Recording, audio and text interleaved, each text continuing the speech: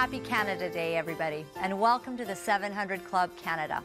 I'm Laura Lynn Tyler Thompson, and we have got a very exciting program planned for you today, featuring one of Canada's most respected Christian leaders of the last 30 years former head of the Evangelical Fellowship of Canada, president of Tyndale University College and Seminary, and current global ambassador for the World Evangelical Alliance, Brian Stiller, joins us today.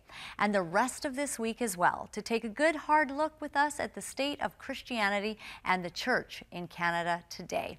I'll also hit the streets to find out your favorite and least favorite things about being Canadian. But first, Here's Brian with Brian.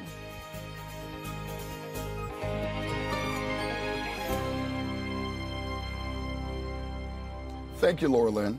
You know, today we have one of the privileges of having a jewel in Canada, Dr. Brian Stiller, but more importantly, my friend and just a wonderful man. Welcome to the 700 Club Canada. Thanks, Brian. You know, when I look at your, your past and I look at some of the things that you've been able to accomplish by the grace of God, did you have any idea that God was going to do some of the things in your life that He's done?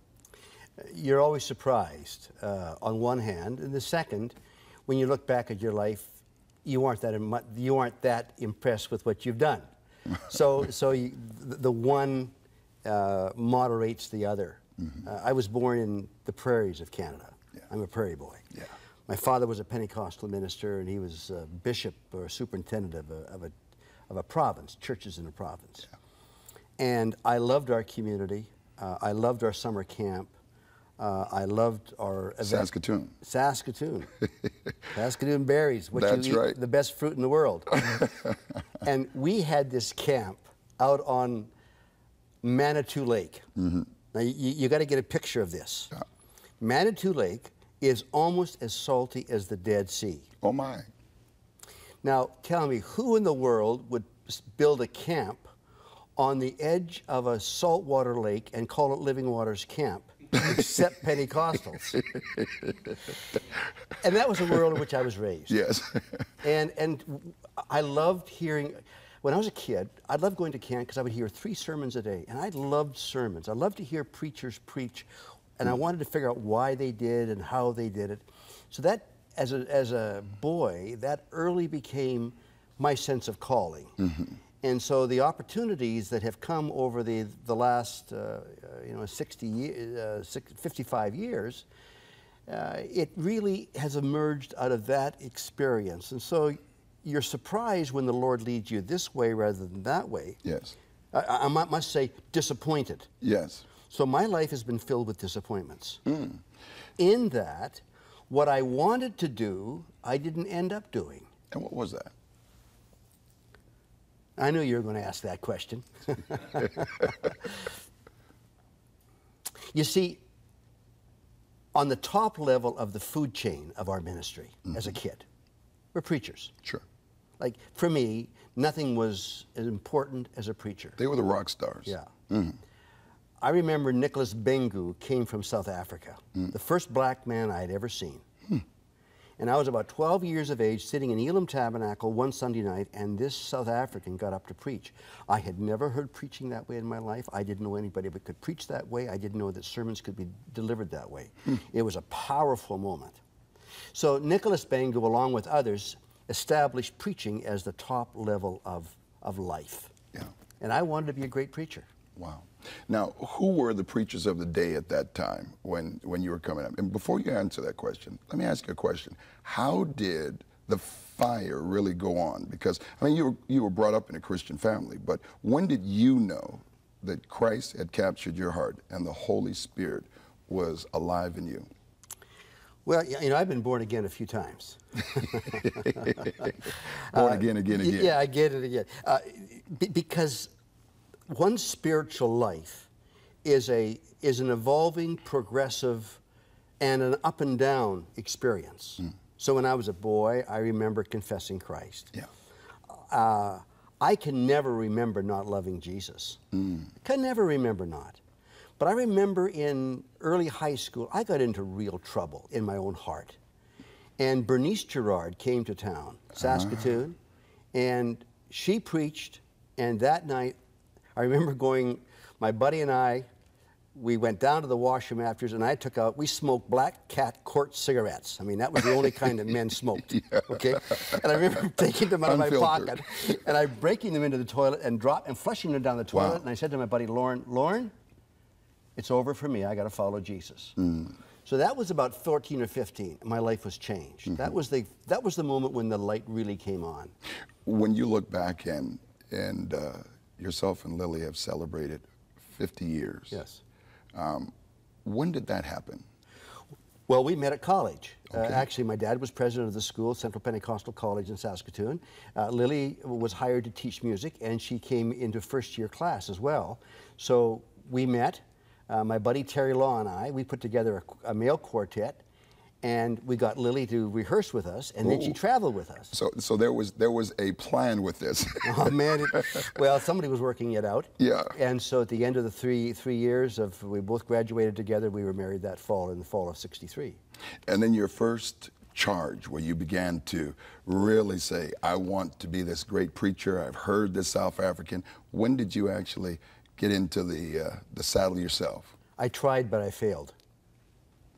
Came to, moved to the University of Toronto, uh, graduated in '66, and for a year, my wife and I traveled doing evangelistic work as we did back in the '60s. Hmm. I was a disaster. yeah, I was. That's hard to believe. Well, I was too academic. Yes. And remember, it was the time of the Nicky Cruz days. Yes. And, and I had no. I had- Cross and the Switchblade. Yeah, and I had no scars to show. Yeah. You know, Lily was the only one I had slept with. I had never taken drugs. I hadn't drunk. Yeah. So I had I had no story of conversion. Mm. And I just spent six years in college and university, and I was too cerebral. Ah. And I came out and I tried this evangelistic thing, and I just was a failure. And At mm. the end of that time, as I was languishing just outside of Winnipeg in a town called Steinbach, Manitoba, I know it well. I got a call from Youth for Christ in Montreal. But I knew that if I was going to take that, which was an organizational leadership role, Yeah. this dream I had had of being a great preacher Mm-hmm. was on hold. Okay. And that changed my life. And I moved from the aspirations that had come out of my boyhood and the disappointments that that was to was that that, was over my life. Yes. I came to realize my primary gifting. Mm. And out of that, I experienced the joy of being obedient to the call of the Lord when I finally understood that I was living a bit of a dream that wasn't, didn't corroborate with reality. Mm. And the reality touch, which, which came in my vocational life, God enabled me then to move on and to provide leadership through a number of organizations. Beautiful. We're going to talk a little bit more about that because I know there's a lot of people dealing with disappointment, finding broken, uh, find a broken wall. Seven ancient principles for the 21st century leaders. It's one of the new projects that you're you're putting out. But I, I know you've struck a chord that there are a number of people that are thinking about, wow. Um, I've got disappointment. I had this intent, and now God has this. I've learned over time, especially pastoring and ministry, the same road that we run away from God is usually the same road that God has his arms open wide to receive us. So our disappointment can be actually our appointment. Could you pray with someone and look at someone and just ask God to uh, give them a, uh, an understanding of their call? Dear Father, in this moment, as I offer this prayer for that person who struggles with disappointment, help them to know that, as Brian has just said, a disappointment becomes an appointment. And failure can become the greatest moment of learning about self and about what we can do. So, for my friend who is uh, in that moment, may they turn to you and know that you're their biggest fan, that you love them, and that you want them to become what you've always intended them to become. I offer this prayer because you love us, and you're the strong one. Amen. Amen. Well, you know, God has a great plan for you, and you're going to be uh, in for a wonderful ride. Dr. Stiller is going to be here with us all week, so don't go away. We'll be right back.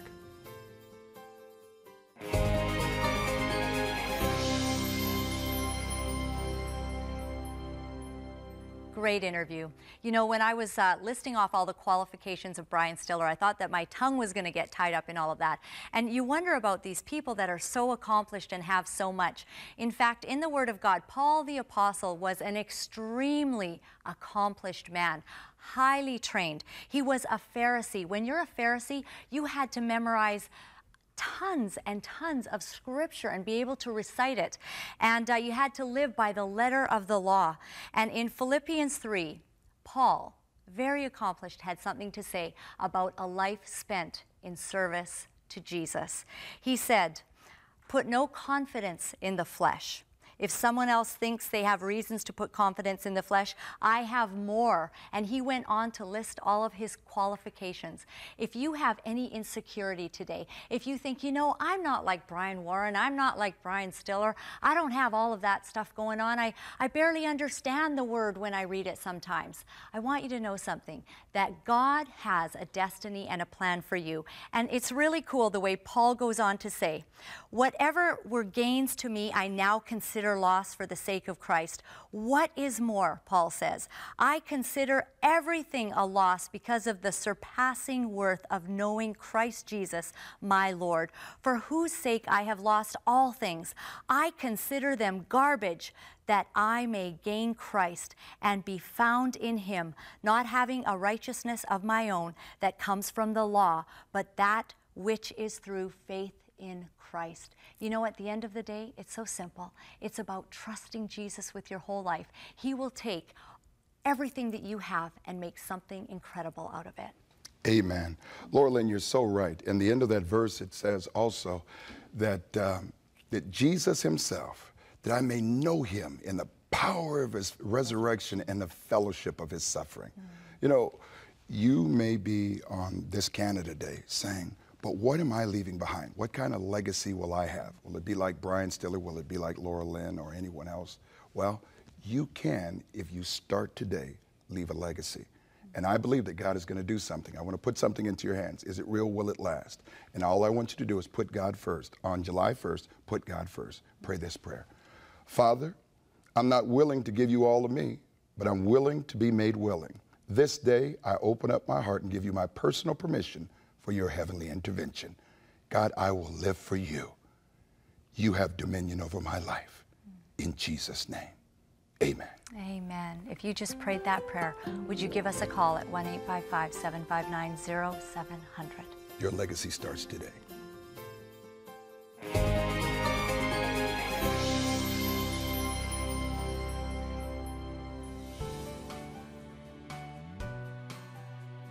I guess what I would love best about Canada is the freedom that we have in this beautiful country to live, speak our minds, practice our spiritual beliefs with a sense of being blessed. Mm-hmm. We live in such a free country.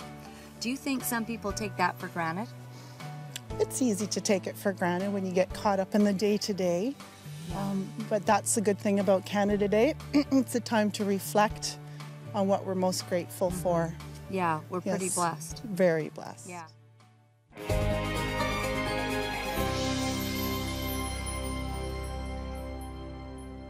Welcome back, everybody. Well, this is my brother Brian, and this is my other brother Brian. and I have enjoyed uh, listening to you both. I know that you have a relationship that goes way back, and it's a beautiful relationship. And you, both of you, understand uh, sort of Christianity and the history in Canada. And I'm wondering, uh, Brian, if you could tell us about the state of Christianity in Canada today and how you have seen that evolve. Well, you know, there are, there are multi sides, of course, to that. To, that's a complex question. Yeah. Uh, but there are a, a few uh, influences and directions that our country has taken with respect to faith. Uh, today, I think there is there's a vibrancy here that surprises me. So that's the good story. There is a longer term sad story that has greatly altered the Canadian landscape. And there were two factors in the, in the, in the uh, 20th century that altered it. Uh, the first was in 1925, the United Church was formed. And the United Church was formed out of the uh, Methodists or the Wesleyans, uh, 75% of the Presbyterians and all the Congregationalists. And in the early part of the 20th century, there was a great interest in, in the gospel speaking to the social needs of people. And these three denominations that formed the United Church, it eventually took that from the 1925 up until today. It has taken a major section of the Protestant community and has moved it from a, from a more of an evangelical conservative uh, biblical base uh, and influenced by German rationalism and higher criticism and the social gospel, it finds itself uh, under the, the aegis and the, the writings of uh, Rauschenbusch, who was an American Baptist. He defined the gospel as being the social gospel, and essentially saying the real issue of salvation is not Brian, you, the sinner, to be saved. Mm-hmm. The real problem with you being not a good person is the social categories that are influencing you and making you a bad person. So the gospel has got to come in and change housing, got to change jobs, got to change labor, all those things. And if we can improve society, then you'll be improved. Yeah. And as a result, the church over the, over the 20th century moved from a place of evangelism to a place of social action. Now, mm. in many ways, that was a good, good thing but what it did over the 20th century and today, we have those groups of people that are a very small percentage of the Canadian uh, society. And when that church loses its moral leverage to influence the country, we all are affected. The second wave was the Roman Catholic Church. Now, traditionally, Canada is made up of 47% are Catholics. So Canada, by any statistical evaluation, is a Catholic country. But focused in Quebec, in the 60s, the Quiet Revolution brought about secularization in Quebec to the place that the church today is really just a very uh, shadow of, of its former self. And so her ability to influence Quebec, uh, interesting, in the 1960s, Quebec had the highest birth rate of any Caucasian civilization known in history. Wow. In the 1980s, Quebec had the lowest birth rate of any Caucasian civilization in, in history in 20 years. Mm. So it, it, shows that birth control and abortion became, uh, the, the Catholic Church lost her ability to influence. So you've got these two major Christian bodies, the Catholic Church and, and the United Church making up those three bodies, losing their influence and presence and their numbers uh, in, our, in our country. And when that happens, then the culture can take a whole shift and the, the Christian influence has been diminished. Mm. So that's one side of the story. Yeah. And so with the void that you're talking about really diminishing their influence and and going more to a social gospel because what we're talking about is looking at it anthropologically where you start to study the culture and you believe if you can change the culture you can change the man but instead of the understanding in when Wesleyan, uh, when John Wesley and, and the Wesley movement came in, it is you need to repent of your sin. Yeah. So has sin actually disappeared as well from the dialogue of the church, the modern church in Canada? Uh, the, in my experience, the, the, the broader Protestant church has lost her edge of talking about the sinfulness of the person and their need for conversion and transformation. Mm. That language is hardly heard. The, the language that you hear about is more we need to change the social categories, improve housing, improve labor, improve uh, uh, the, the access to uh, whatever uh, service a woman needs, et cetera, et cetera. But what, what happened in the, towards the two thirds of the way through the, the, the 20th uh, century, the evangelical Protestant community all of a sudden realized they had made a mistake. Hmm. They had something to learn from the United Church. That indeed God does care about those social categories. He does care about unemployment. He does right. care about health care. All those kinds. He does care about the environment. So evangelicals recognized they needed to broaden their sense of the gospel. The gospel isn't just about the individual getting saved and ready for heaven. Yes, that's important. We aren't going to lose that emphasis. But also, the society in which the person lives, God also cares about that because the society does influence our children and our grandchildren. And if God doesn't salt and light, the metaphors Jesus used, if salt and light isn't there, if salt is absent, decay prevails. Yeah. If, if light is absent, darkness prevails. And we realize that politics, medicine, education, all of these things in life matter to the Lord. And evangelicals became engaged in a new way. And we learned there was a, a wonderful line from a, from a, a, a prime minister of Netherlands 100 years ago, Abraham Kuyper. He had this one line. He said, There's not one square inch of creation that God doesn't say, That's mine. The earth is the Lord's and the fullness thereof, and all they that dwell therein. And we've come to realize that. And over the last 25, 30 years, there's been a revitalization uh, within the evangelical Protestant community. But also, there was a larger history in the 20th century called the Pentecostal movement that morphed into the charismatic movement. And uh, there's a more detailed story about that. But what happened when the charismatic movement finally opened its doors? The Spirit rushed in. And that has been transformative of all Christian communities over the, over the last uh, 40 years. Dr. Stiller, you are really touching on a lot of things, but I, I think something that just keeps resounding is the salt and light. And if the salt loses its savior, it's good for nothing. And it was kind of a play on words that I was saying that it's savior, not Yeah. just its savor, right? Um, as we close out, I know there are, are mothers, fathers, grandmothers, grandfathers, theologians, and, and them. They're saying, wow, I need to get the salt back. Especially for the younger generation. Yeah. What's the answer? Presence. Allowing Christ to, to, to live in your life and walking into that business Monday morning, Wednesday morning. And as you walk down the halls of your office or the school or wherever you are, to look at that world around you and say, God loves this. Mm-hmm. And I, as His person, am the salt. I'm not going to take over because too much salt, you spit it out. Too much light, you go blind. so be God's presence as salt and light and claim that place of your vocation as your calling and His place of abode. And salt and light will do what God wants us to do. That's beautiful. Beautiful. Thank you.